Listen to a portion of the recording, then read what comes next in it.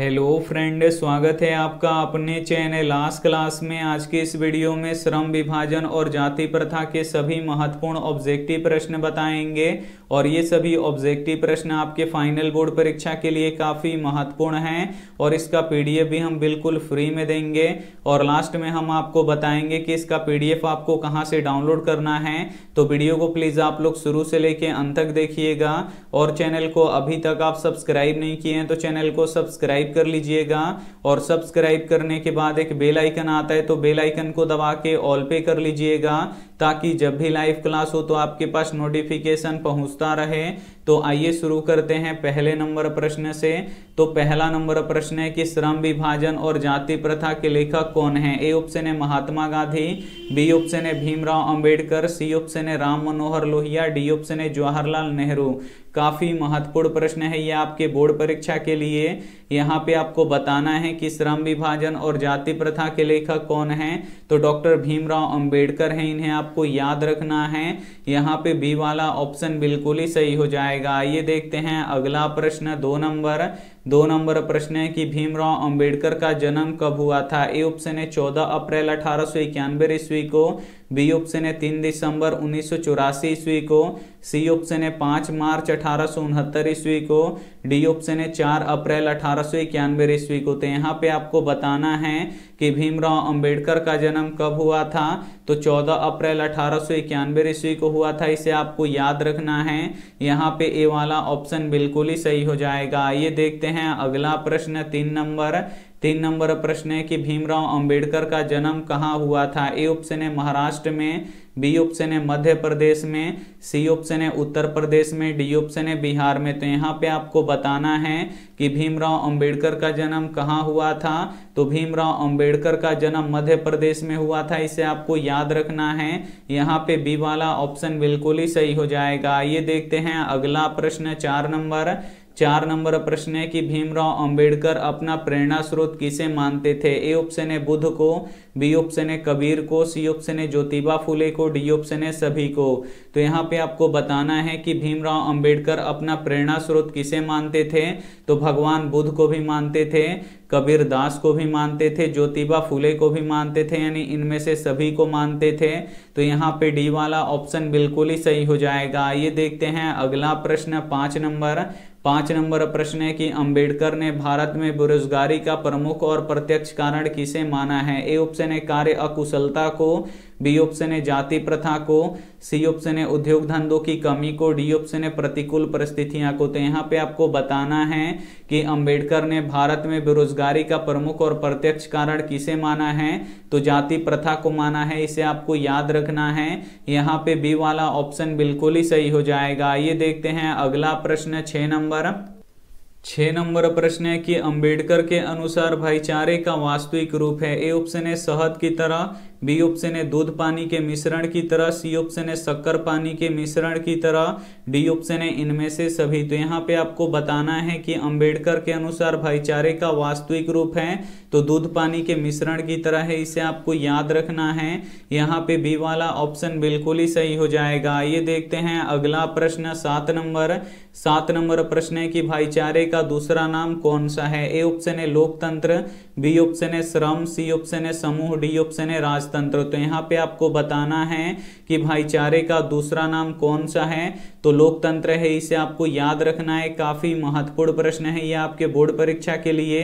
यहाँ पे ए वाला ऑप्शन बिल्कुल ही सही हो जाएगा। ये देखते हैं अगला प्रश्न, आठ नंबर। आठ नंबर प्रश्न है कि भारत में जाति प्रथा का प्रमुख कारण क्या है? ए ऑप्शन है गरीबी, बी ऑप्शन है अमीरी, सी ऑप्शन है बेरोजगारी, डी ऑप्शन है रोज़गार। तो यहाँ पे आपको बताना है कि भारत में जाति प्रथा का प्रमुख कारण क्या है? तो बेरोजगारी है, इसे आपको याद रखना है। यहाँ पे सी वाला ऑप्शन बिल्कुल ही सही हो जाएगा। ये देखते हैं अगला प्रश्न, नौ नंबर। नौ नंबर प्रश्न है कि श्रम विभाजन जाति प्रथा गद की कौन सी विधा है? ए ऑप्शन है कहानी है बी ऑप्शन है भाषण है, सी ऑप्शन है निबंध है, डी ऑप्शन है ललित निबंध है। यहाँ पे आपको बताना है कि श्रम विभाजन और जाति प्रथा गद की कौन सी विधा है? तो निबंध है, इसे आपको याद रखना है। यहाँ पे सी वाला ऑप्शन बिल्कुल ही सही हो जाएगा। ये देखते हैं अगला प्रश्न, दस नंबर। दस नंबर प्रश्न है कि श्रम विभाजन कैसे समाज की आवश्यकता है? ए ऑप्शन है सभ्य समाज की, बी ऑप्शन है असभ्य समाज की, सी ऑप्शन है दोनों की, डी ऑप्शन है सभी गलत है। तो यहाँ पे आपको बताना है कि श्रम विभाजन में कैसे समाज की आवश्यकता है। तो सभ्य समाज की आवश्यकता है, इसे आपको याद रखना है।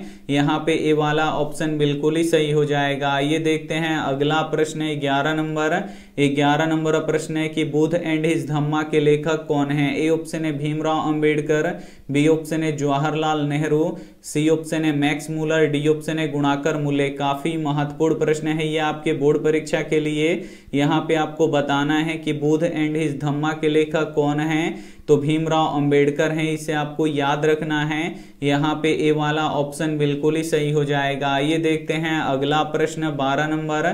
बारह नंबर प्रश्न है कि बाबा साहेब के अनुसार आदर्श समाज किसे कहा जाता है? ए ऑप्शन है समानता पर आधारित को, बी ऑप्शन है बंधुत्व पर आधारित को, सी ऑप्शन है स्वतंत्रता पर आधारित को, डी ऑप्शन है सभी कथन सही है। तो यहाँ पे आपको बताना है कि बाबा साहेब के अनुसार आदर्श समाज किस पे आधारित होता है? तो समानता पर आधारित होता है, बंधुत्व पर आधारित होता है, स्वतंत्रता पर आधारित होता है, यानी इनमें से सभी पर आधारित होता है। तो यहाँ पे डी वाला ऑप्शन बिल्कुल ही सही हो जाएगा। आइए देखते हैं अगला प्रश्न, तेरह नंबर। तेरह नंबर प्रश्न है कि जाति, प्रथा, श्रम विभाजन के साथ साथ किसका रूप लिए हुए है? ए ऑप्शन है स्वतंत्रता का, बी ऑप्शन है भ्रांतित्व का, सी ऑप्शन है श्रमिक विभाजन का, डी ऑप्शन है इनमें से कोई नहीं। तो यहाँ पे आपको बताना है कि जाति, प्रथा, श्रम विभाजन के साथ साथ किसका रूप लिए हुए है? तो श्रमिक विभाजन का भी रूप लिया हुआ है, इसे आपको याद रखना है। यहाँ पे सी वाला ऑप्शन बिल्कुल ही सही हो जाएगा। आइए देखते हैं अगला प्रश्न, चौदह नंबर। चौदह नंबर प्रश्न है कि जाति प्रथा क्या निर्धारित करता है? ए ऑप्शन है पेशा, बी ऑप्शन है दिनचर्या, सी ऑप्शन है व्यापार, डी ऑप्शन है कुछ नहीं। काफ़ी महत्वपूर्ण प्रश्न है ये आपके बोर्ड परीक्षा के लिए। यहाँ पे आपको बताना है कि जाति प्रथा क्या निर्धारित करता है। तो जाति प्रथा जो होता है ये पेशा को निर्धारित करता है, इसे आपको याद रखना है। यहाँ पे ए वाला ऑप्शन बिल्कुल ही सही हो जाएगा। आइए देखते हैं अगला प्रश्न, पंद्रह नंबर। पंद्रह नंबर प्रश्न है कि the caste in India their mechanism के लेखक कौन है? ए ऑप्शन है कबीर दास बी ऑप्शन है भगवान बुद्ध, सी ऑप्शन है भीमराव अंबेडकर, डी ऑप्शन है ज्योतिबा फूले। तो यहाँ पे आपको बताना है कि the caste in India their mechanism के लेखक कौन है? तो डॉक्टर भीमराव अंबेडकर हैं, इसे आपको याद रखना है। यहाँ पे सी वाला ऑप्शन बिल्कुल ही सही हो जाएगा और ये भी प्रश्न काफ़ी महत्वपूर्ण है आपके बोर्ड परीक्षा के लिए। तो एक भी प्रश्न आप लोग इसकी मत कीजिएगा, वीडियो को प्लीज़ आप लोग शुरू से लेके अंत तक देखिएगा। और वीडियो को अभी तक आप लाइक नहीं किए तो प्लीज़ आप लोग वीडियो को लाइक भी कर दीजिएगा। आइए देखते हैं अगला प्रश्न, सोलह नंबर। सोलह नंबर प्रश्न है कि जाति प्रथा का सबसे बड़ा दोष क्या है? ए ऑप्शन है, लिंग निर्धारित करना। बी ऑप्शन है पेशे का निर्धारित करना, सी ऑप्शन है संस्कार का निर्धारित करना, डी ऑप्शन है इनमें से कोई नहीं। तो यहाँ पे आपको बताना है कि जाति प्रथा का सबसे बड़ा दोष क्या है? तो जाति प्रथा का सबसे बड़ा दोष पेशे का निर्धारण करना है, इसे आपको याद रखना है। यहाँ पे बी वाला ऑप्शन बिल्कुल ही सही हो जाएगा। आइए देखते हैं अगला प्रश्न, सत्रह नंबर। सत्रह नंबर प्रश्न है कि आर्थिक पहलू से भी हानिकारक क्या है? ए ऑप्शन है जाति प्रथा, बी ऑप्शन है दहेज प्रथा, सी ऑप्शन है बाल विवाह, डी ऑप्शन है सती प्रथा। तो यहाँ पे आपको बताना है कि आर्थिक पहलू से भी हानिकारक क्या है? तो आर्थिक पहलू से भी हानिकारक जाति प्रथा है, इसे आपको याद रखना है। यहाँ पे ए वाला ऑप्शन बिल्कुल ही सही हो जाएगा। आइए देखते हैं अगला प्रश्न, अठारह नंबर। अठारह नंबर प्रश्न है कि भीमराव अंबेडकर ने किस पत्रिका का संपादन किया? ए ऑप्शन है उज्ज्वल भारत का। बी ऑप्शन है उड़ता भारत का, सी ऑप्शन है बहिष्कृत भारत का, डी ऑप्शन है इनमें से कोई नहीं। काफ़ी महत्वपूर्ण प्रश्न है यह आपके बोर्ड परीक्षा के लिए। यहाँ पे आपको बताना है कि भीमराव अंबेडकर ने किस पत्रिका का संपादन किया था तो बहिष्कृत भारत का किया था, इसे आपको याद रखना है। यहाँ पे सी वाला ऑप्शन बिल्कुल ही सही हो जाएगा। आइए देखते हैं अगला प्रश्न, उन्नीस नंबर। उन्नीस नंबर प्रश्न है कि भारतीय संविधान किसने लिखा? ए ऑप्शन है महात्मा गांधी ने, बी ऑप्शन है भीमराव अंबेडकर ने, सी ऑप्शन है जवाहरलाल नेहरू ने, डी ऑप्शन है इनमें से कोई नहीं। तो यहाँ पे आपको बताना है कि भारतीय संविधान किसने लिखा है? तो भीमराव अंबेडकर जी ने लिखा है, इसे आपको याद रखना है। यहाँ पे बी वाला ऑप्शन बिल्कुल ही सही हो जाएगा। आइए देखते हैं अगला प्रश्न, बीस नंबर। बीस नंबर प्रश्न है कि डॉक्टर अंबेडकर के पिता का नाम क्या था? ए ऑप्शन है रामदेव सकपाल बी ऑप्शन है रामजी सकपाल, सी ऑप्शन है राम किशुन सकपाल, डी ऑप्शन है राधे राम सकपाल। तो यहाँ पे आपको बताना है कि डॉक्टर अंबेडकर के पिता का नाम क्या था? तो रामजी सकपाल था, इसे आपको याद रखना है। यहाँ पे बी वाला ऑप्शन बिल्कुल ही सही हो जाएगा। आइए देखते हैं अगला प्रश्न, इक्कीस नंबर। इक्कीस नंबर प्रश्न है कि जाति प्रथा भारत में बेरोजगारी का एक डैश कारण बनी हुई है। ए ऑप्शन है प्रत्यक्ष, बी ऑप्शन है प्रमुख, सी ऑप्शन है ए और बी, दोनों डी ऑप्शन है। इनमें से कोई नहीं। तो यहाँ पे आपको बताना है कि जाति प्रथा भारत में बेरोजगारी का एक डैश बना हुआ है तो प्रमुख और प्रत्यक्ष दोनों कारण बना हुआ है तो यहाँ पे सी वाला ऑप्शन बिल्कुल ही सही हो जाएगा। आइए देखते हैं अगला प्रश्न, बाईस नंबर। बाईस नंबर प्रश्न है कि मुख्य नायक क्या है? ए ऑप्शन है अखबार बी ऑप्शन है पत्रिका सी ऑप्शन है पुस्तक डी ऑप्शन है कहानी संग्रह। तो यहाँ पे आपको बताना है कि मुख्य नायक क्या है? तो मुख्य नायक एक पत्रिका है, इसे आपको याद रखना है, काफ़ी महत्वपूर्ण प्रश्न है। यहाँ पे बी वाला ऑप्शन बिल्कुल ही सही हो जाएगा। आइए देखते हैं अगला प्रश्न, तेईस नंबर। तेईस नंबर प्रश्न है कि डॉक्टर भीमराव अंबेडकर की मृत्यु कब और कहाँ हुई? ए ऑप्शन है उन्नीस दिल्ली में बी ऑप्शन है उन्नीस मध्य प्रदेश में सी ऑप्शन है उन्नीस बनारसी में डी ऑप्शन है उन्नीस सौ उनसठ बिहार में। तो यहाँ पे आपको बताना है कि डॉक्टर भीमराव अंबेडकर की मृत्यु कब और कहाँ हुई? तो उन्नीस सौ छप्पन दिल्ली में हुआ, इसे आपको याद रखना है। यहाँ पे ए वाला ऑप्शन बिल्कुल ही सही हो जाएगा। ये देखते हैं अगला प्रश्न 24 नंबर। 24 नंबर प्रश्न है कि लेखक को इस युग में कहाँ पर विडम्बना दिखाई दिया? ए ऑप्शन है जातिवाद में, बी ऑप्शन है नारीवाद में, सी ऑप्शन है निर्वादीवाद में, डी ऑप्शन है परिवारवाद में। तो यहाँ पे आपको बताना है कि लेखक को इस युग में कहाँ पर विडम्बना दिखाई दिया?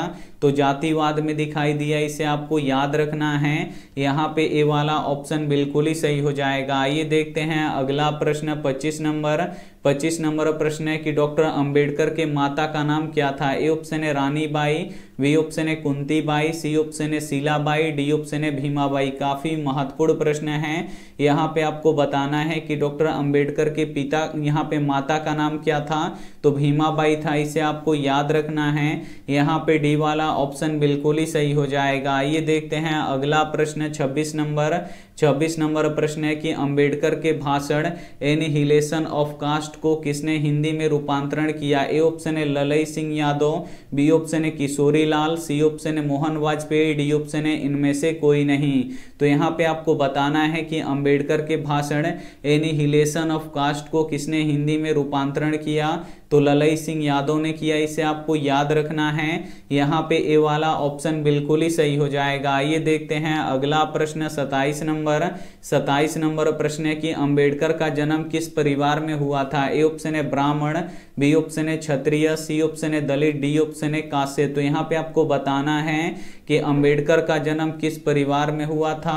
तो दलित परिवार में हुआ था, इसे आपको याद रखना है। यहाँ पे सी वाला ऑप्शन बिल्कुल ही सही हो जाएगा। आइए देखते हैं। अगला प्रश्न 28 नंबर। 28 नंबर प्रश्न है कि निम्नलिखित रचनाओं में कौन सी रचना डॉक्टर अंबेडकर की है? ए ऑप्शन है the caste in India B option है the untouchable you are they C option है who are Shudras D option है इनमें से सभी. काफ़ी महत्वपूर्ण प्रश्न है ये आपके बोर्ड परीक्षा के लिए. यहाँ पे आपको बताना है कि निम्नलिखित रचनाओं में कौन सी रचना डॉक्टर अंबेडकर की है? तो द कास्ट इन इंडिया ये भी है. The untouchable you are they ये भी है. हु आर सुद्राज ये भी है, यानी तीनों हैं, यानी इनमें से सभी है. तो यहाँ पे डी वाला ऑप्शन बिल्कुल ही सही हो जाएगा. और ये रहा आपके लिए होमवर्क प्रश्न. इसका जवाब आपको कमेंट बॉक्स में देना है कि सेन साहब के आँखों का तारा कौन है? ए ऑप्शन है कार बी ऑप्शन है खोखा सी ऑप्शन है मदन डी ऑप्शन है पुत्रियाँ। तो ये वीडियो आपको काफ़ी अच्छा लगा हो तो इसे वीडियो को आप लोग लाइक कीजिएगा, अपने दोस्तों के पास इस वीडियो को ज़रूर शेयर कीजिएगा। और चैनल को अभी तक आप सब्सक्राइब नहीं किए तो चैनल को सब्सक्राइब कर लीजिएगा। अब हम आपको बताएँगे कि इसका पीडीएफ आप लोग कहाँ से डाउनलोड कर सकते हैं। खुल जाए तो यहाँ पे सर्च बॉक्स दिखेगा। इस सर्च बॉक्स में आपको लिखना है आस्क क्लास तो हम यहाँ पे लिख देते हैं ए एस के और फिर C L A double S यहाँ पे आपको आस्क क्लास लिख के सर्च कर देना है। जैसे ही सर्च कीजिएगा, यहाँ पे लिखा हुआ आ जाएगा। आस क्लास इस पर आपको क्लिक करना है। और जैसे ही क्लिक कीजिएगा, आप हमारे ऑफिशियल वेबसाइट पे चले जाइएगा। थोड़ा सा टाइम लग रहा है खुलने में। तो यहाँ पे हम वेट कर लेते हैं कुछ देर तक। यहाँ पे देखिए आप हमारे ऑफिशियल वेबसाइट पे आ गए हैं और यहाँ पे लिखा हुआ है डाउनलोड पीडीएफ तो इस पीडीएफ वाले डाउनलोड पे क्लिक कीजिएगा। तो यहाँ पे खुल जाएगा। तो यहाँ पे देखिए, अभी हम पढ़ाए हैं श्रम विभाजन और जाति प्रथा और यहाँ पे लिखा हुआ है डाउनलोड पीडीएफ। तो इसी पे बस आपको डाउनलोड पे क्लिक करना है और आपका पीडीएफ डाउनलोड हो जाएगा। तो उम्मीद करते हैं ये वीडियो आपको काफ़ी अच्छी तरीके से समझ में आ गया होगा। तो अपने दोस्तों के पास इस वीडियो को ज़रूर शेयर कीजिएगा और बोलिएगा कि टेंथ का क्लास का टेंथ का नया बैच शुरू हो चुका है। जल्दी जुड़िए आप लोग आज क्लास से। थैंक यू फॉर वॉचिंग मिलते हैं अगले वीडियो में। तब तक अपना ध्यान रखिए, मन लगा के पढ़ाई कीजिए। Take care and bye